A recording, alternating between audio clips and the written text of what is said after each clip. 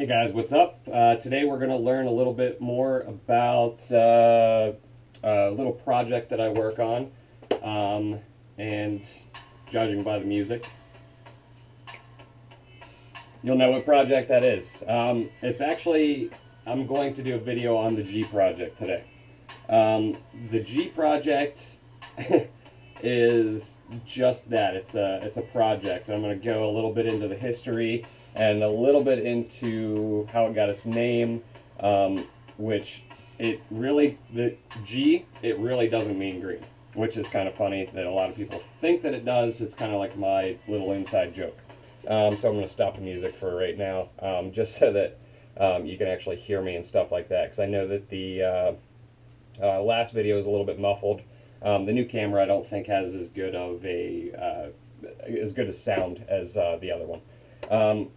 So let's uh, let's start from the beginning on you know where the G project came from, how it got its name, stuff like that, and then I'll actually show you some G project animals and the differences between um, the different uh, the different lines and styles that I'm going into with it. It's not that the different lines are unrelated; they actually are all related um, and actually all come from the same exact uh, lineage. It's just the direction in which I'm taking them to look like is diverging a little bit.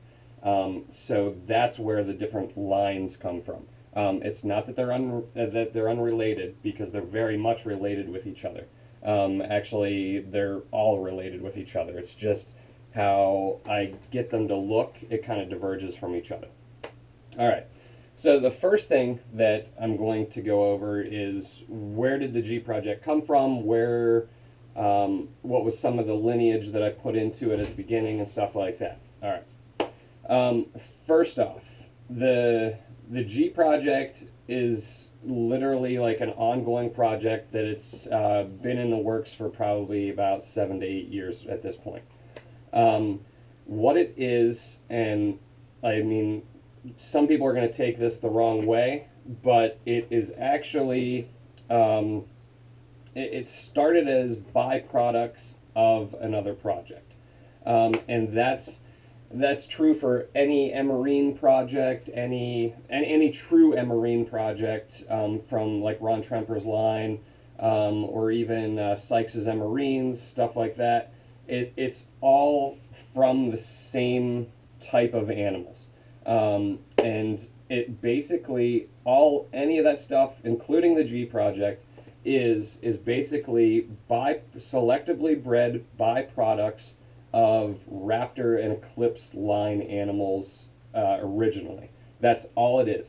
Um, every single emerine, uh, you know, every single G project, it all came um, from that sort of line type stuff. So don't um, you know, don't think that it's like its own morph or anything like that. It's not its own morph. It's basically byproducts. It's, you know, generic type animals that are line bred to look the way they look.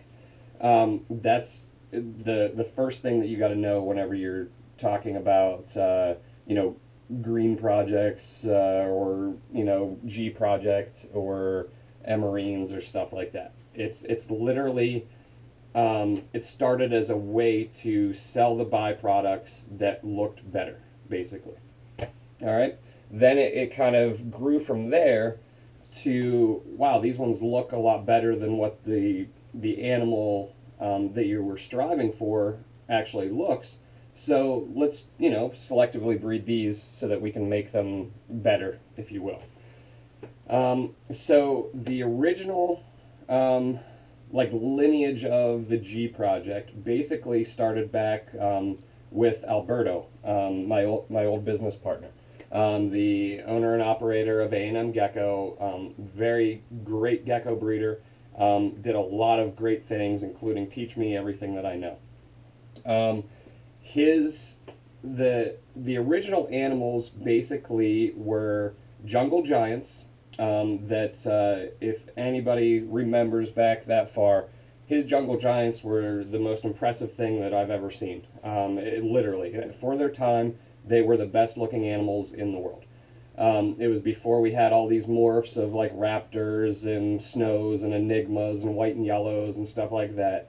Um, they were jungled animals with extreme contrast and color, um, which those were like his signature thing. Um, that and some of his tangerine lines and stuff like that. But that was his signature thing. That these these jungle giants that were just, um, I mean, you could just look at them and you'd be like, oh, those are A&M's geckos. I mean, they, they were selectively bred and just awesome looking. Um, with, you know, carroting on the tail, and I mean, they were just impressive animals. So, um, if you don't know what one looks like, I'll, I'll post some up on my, uh, up on, uh, on my Facebook page so you can see what the old jungle giants look like, stuff like that. Um, the other ingredient that was used was uh, HQ line red stripes. HQ line red stripes were the original red stripes, um, and they were phenomenal. I mean, they were perfect red stripes, uh, like pinstripes down the sides. They weren't like these bold stripes or anything like that. They were they were literally like thin red stripes that ran the whole way down the animal. Um, a lot of those animals had some nice carrot tail as well. Um, Alberto actually purchased a female that had about, I would say, 95% carrot tail that female um, was kind of the building block and where a lot of like the carrot tail comes from in the G project. Uh, I mean, these animals were, this was probably back in like 2005, I would say, um, maybe 2004. And the reasoning for crossing the, uh, the HQ line red stripes and the jungle giants was to prove out how the raptor was created.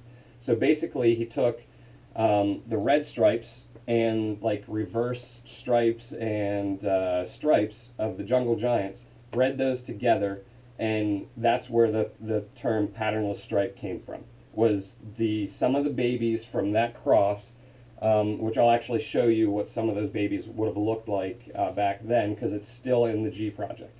Um, basically, it's a patternless stripe animal. It's not a Murphy's patternless, that's two totally different things. The patternless stripe is basically a stripe on a reverse stripe, um, causing it to be solid color, the whole, you know, the whole animal is orange, basically, uh, the body. And then you can get varying amounts of carrot tail, stuff like that. Um, so from these patternless stripe animals, whenever you breed those back together, that's whenever the eye pigmentation can pop out.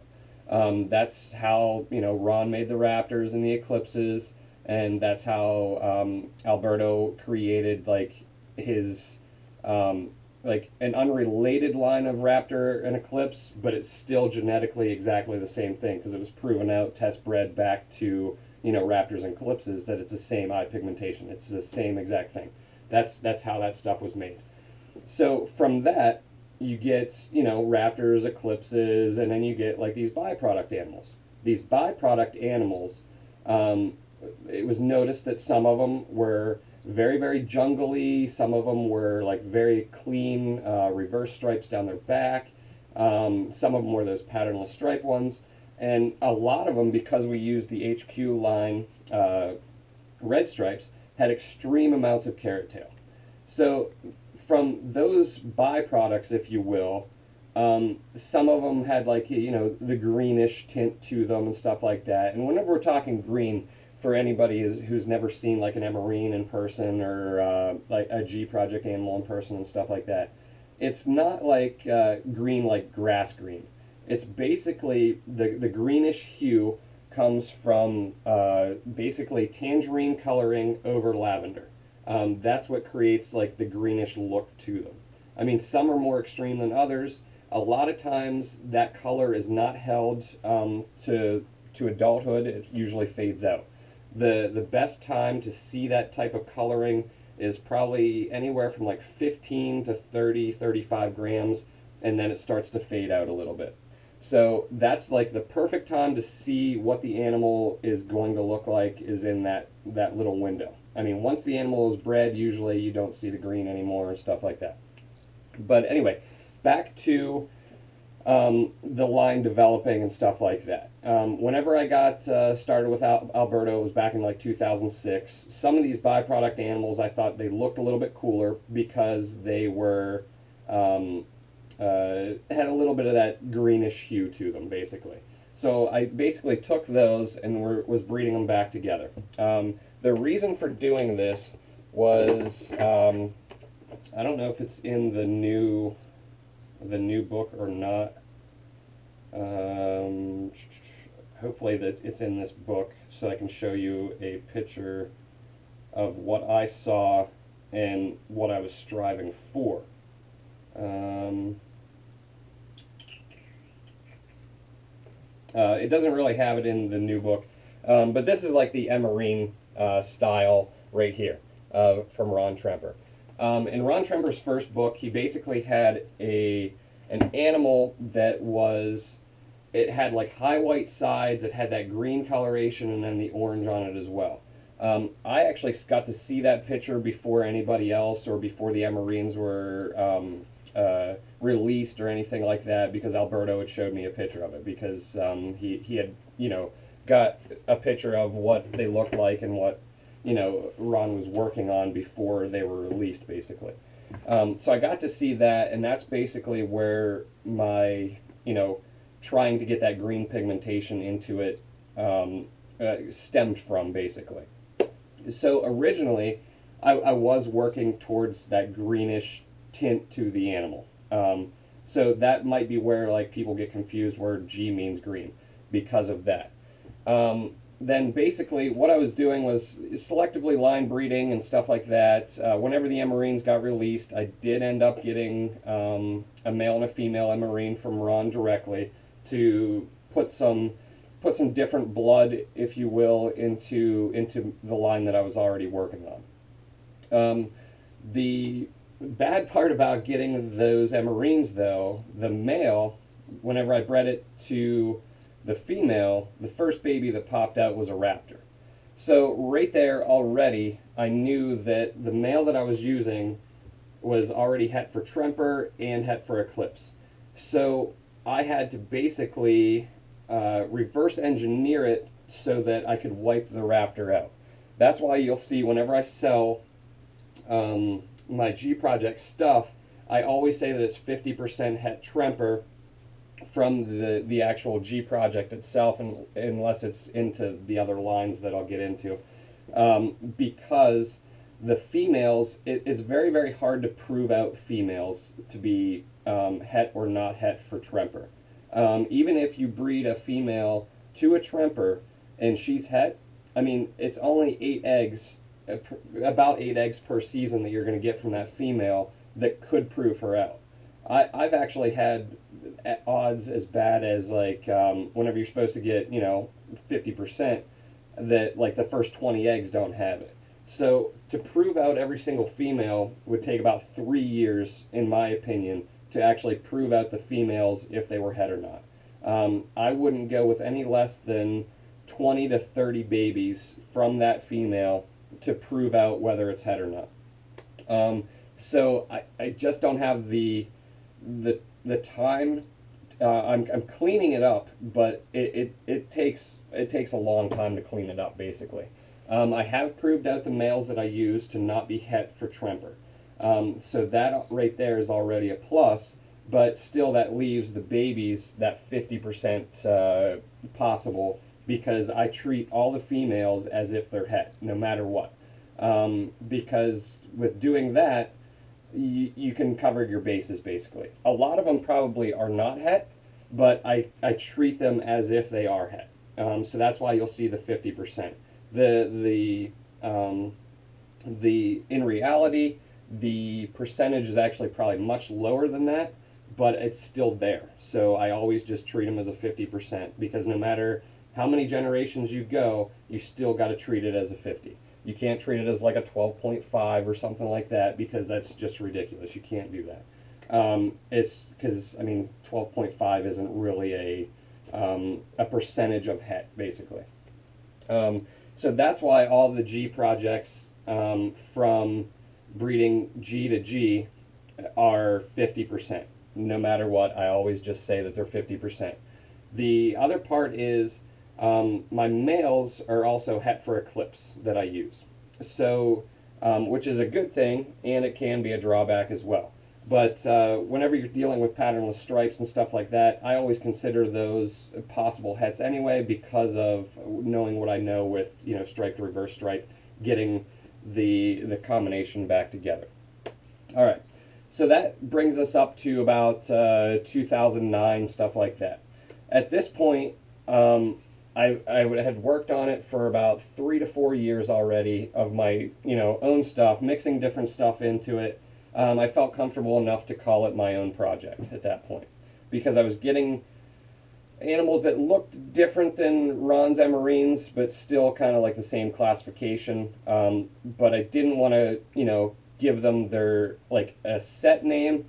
It, it's because it's a project. It's always going to be evolving and I wanted a name that would always uh, be fitting, if you will. Um, so the, the the real reason why it's called the G Project is basically this right here. And I know you're going to be like, what? It, it's named after Gatorade? Um, but it literally is named after Gatorade. In 2009, Gatorade basically went from being called Gatorade to G and they had commercials.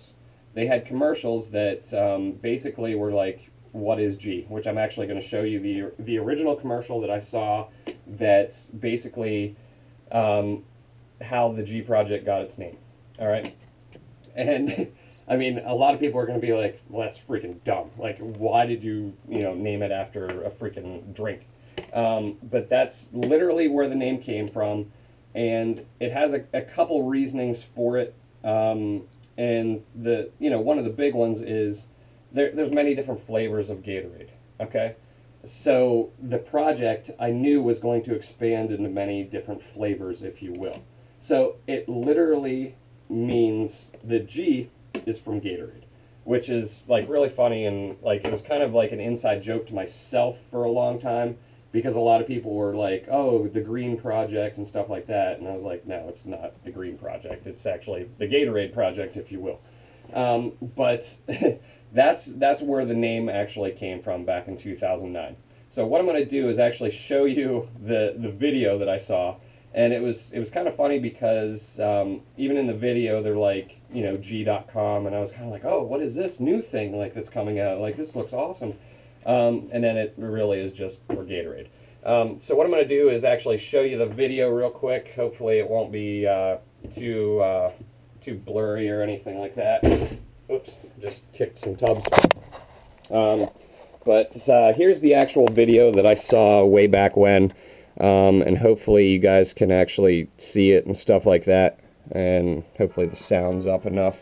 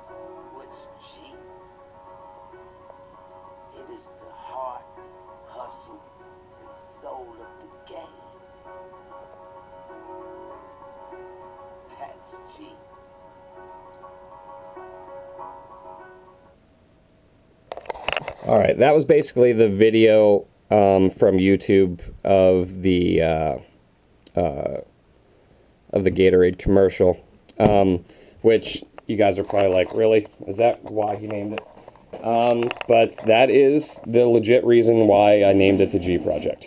Um, so now you guys all know one of the secrets here is that the G Project is actually named after Gatorade. Um, which is, you know, really, really funny to me, but a lot of people are going to be like, wow, that's really freaking dumb. Um, but anyway, all right, back to the actual animals and stuff like that that I use right now. Um, this guy's actually shedding, but this guy is um, the male that I call CT. CT is basically, um, whenever he was a baby, he was probably about 90% carrot tail. So all the animals that you see from me that uh, um, come out with a huge amount of carrot tail, they're all his babies crossed back to his babies. Um, he is a very, very like. Uh, I mean, he's he's probably about. I would say he was born in like uh, 08 or 09. So he's getting up there in age, but he's still a great breeder. Um, as you can see, he's got his freaking skin all over the place.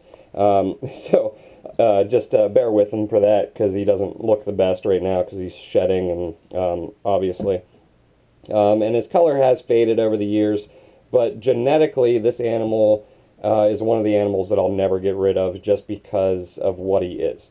Um, last year, I proved him out not to be het for Tremper because um, I bred him to a couple raptors, and I mean, he just uh, actually was about three raptors, and I got about uh, you know 30 babies out of them um, with different uh, Tremper uh, animals. So I proved him out not to be het for Tremper.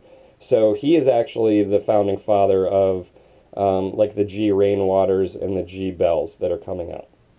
Um, so definitely a cool animal, and he's basically the father, grandfather, and you know great grandfather at this point of a lot of the G Project animals.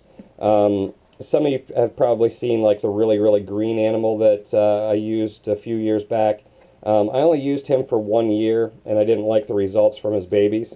So I actually only used him that one year, and then I started to use him.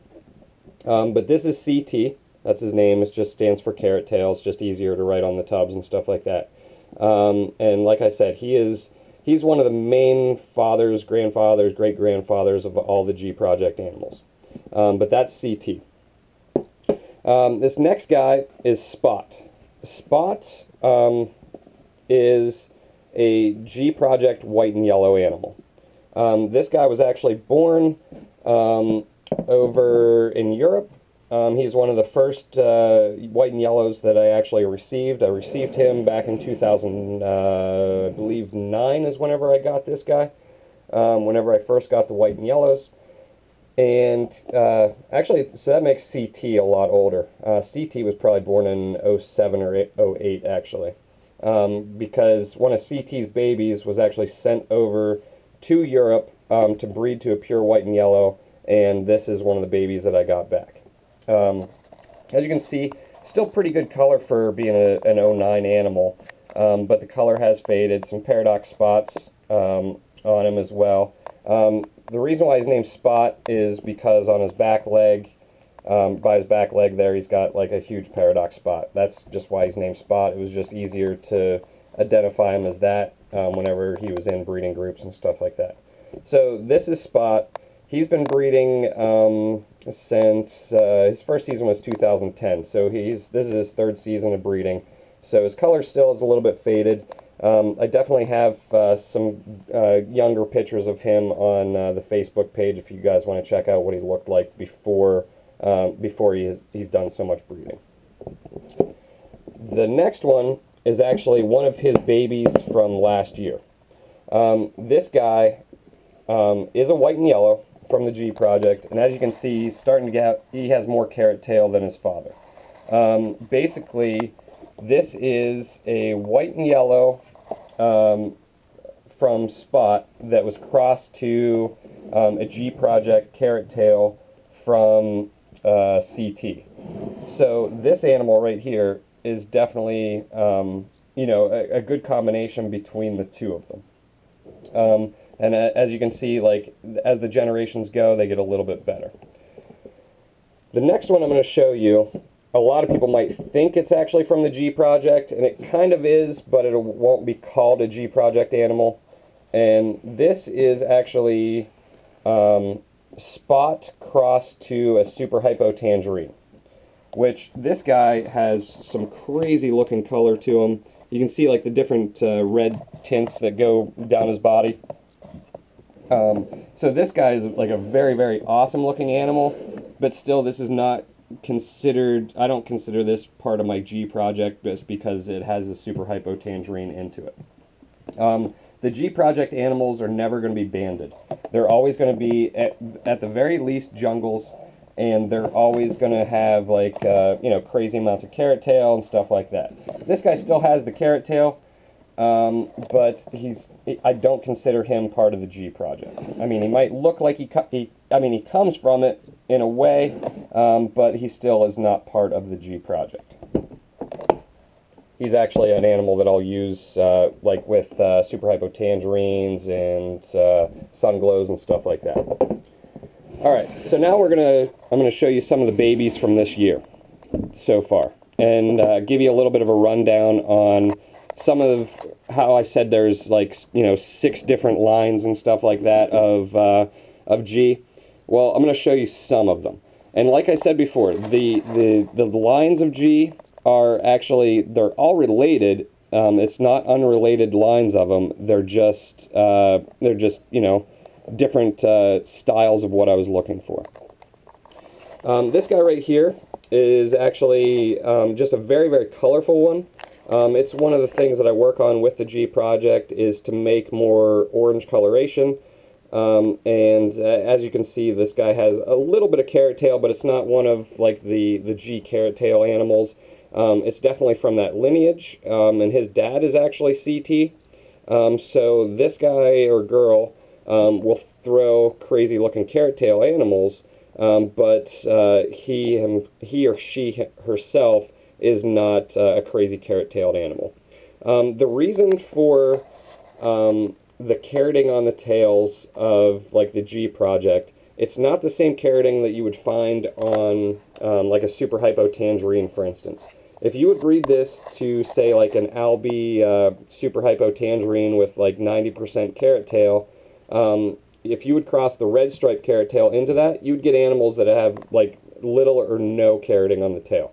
Um, that is because the carroting on the tail is much different um, between the two, and they don't uh, they don't cross well with each other. So all the carroting on the tail of the G project stuff is actually the red stripe style carroting on the tail. And again, that comes from the original HQ um, red stripe that uh, was bred like you know back in 2005, I believe it was.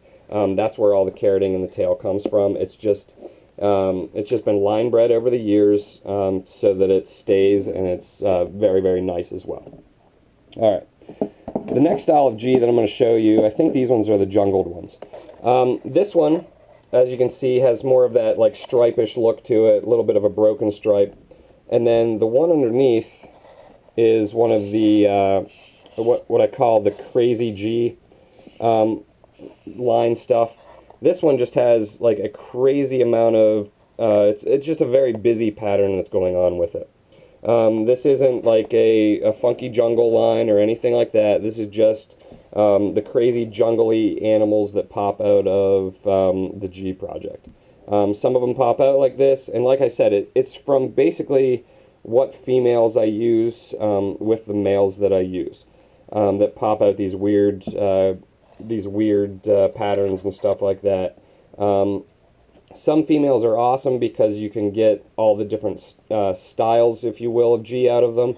Um, but they're definitely different styles, and that's what I'm kind of trying to to breed and to lock in is more of um, uh, more of a, a line bred thing. So if it's a patternless stripe uh, G, it'll always you know give you patternless stripe Gs. Uh, if it's a super jungly G like these guys, then it's uh, going to give you super jungly Gs as well. But these are the super jungly looking ones. Um, hopefully you can, you know, see the coloration as well. A lot of them are very, very, like, orange. These ones don't have as much carroting on the tail. Um, but again, that's because the females that I used didn't have that much carroting on the tail as well. Alright, this one's uh, kind of a crazy looking one as well. Um, this one is, uh, it has a little bit of the, it's it's basically like a bold stripe crossed into it, um, which you can kind of see the greenish tints on the side, like the lavenderish tints on the side. Um, this project's still going to take a little while um, to get the the sides bold again with like a crazy red stripe down the down the back, um, because whenever you first breed those together, uh, both of the traits are lost. So you basically have to breed it uh, over a couple generations, like breeding the uh, you almost kind of have to consider them like hets, but it doesn't work like hets. Um, you got to breed like the siblings back to each other and stuff like that to get the really, really uh, uh, pristine, nice looking animal like you want. Um, but again, this one is just like one of the little like cross projects that I'm doing um, by getting them into like a boulder boulder striped animal. But as you can see, this animal's only about uh, 15, 20 grams, and it's already losing that boldness. Um, so I'll basically have to breed this one again back to uh, other siblings from the same project to hopefully get the, the bold patterning back into it. But as you can see, it this one definitely has like that greenish hue to it. Um, hopefully you guys can see that with uh, with this camcorder. All right, here's um, some of uh, the other G Project stuff. Um, well, the whole video is going to be about G projects, so I don't know why I said that. But this is where like the reverse stripe style comes into it. Um, this guy's a very, very clean one. That reverse stripe will actually fade. This animal will turn to almost solid orange. Um, as you can see, it has much more orange on the tail. Um, it's probably about 75% now. Um, it might get a little bit more, um, but very, very clean head pattern. Um, and as you can see, the uh, the bolt, the reverse stripe's already starting to fade in that one, and it's just a baby. Um, this one ha definitely has more of a reverse stripe that'll probably stay. Um, it will actually break up a little bit and just become more spotted. Uh, and it doesn't have as much carrot tail to it as well. Um, so, I mean, that's the other thing with the G project. There's you can get all sorts of babies out of it uh, that look different um, depending on what females you breed to them, and um, it uh, it definitely gives you a wide variety of uh, of color and pattern as well. All right, here here again is one of the car more carroty-tailed animals.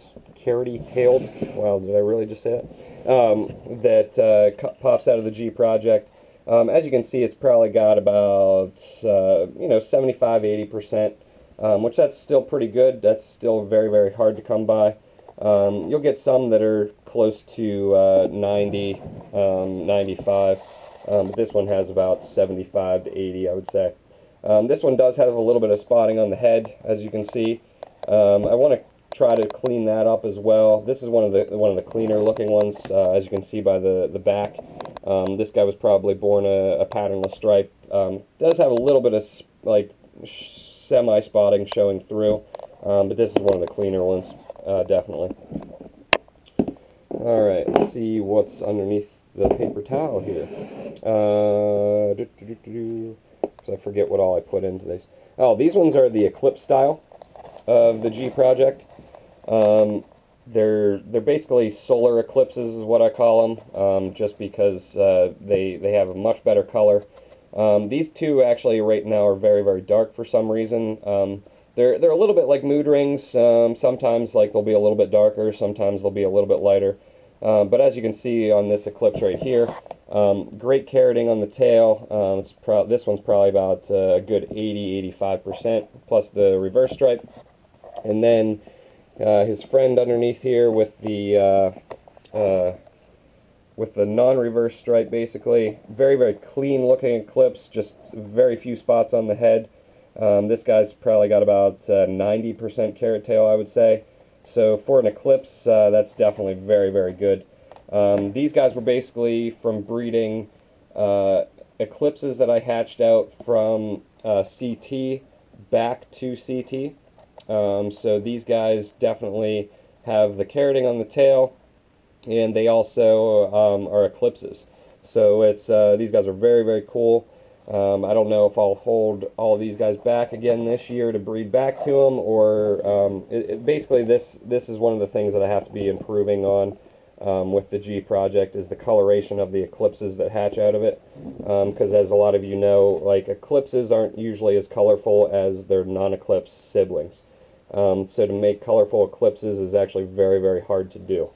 Um, but these are some of the uh, more colorful eclipses. Um, hopefully you guys can see a little bit of the color. But like I said, these guys are a little bit dark today um, for some reason. Uh, maybe they're just uh, not morning geckos. Ha ha ha ha. Which is another species of gecko. Hopefully you got my gecko joke. Um,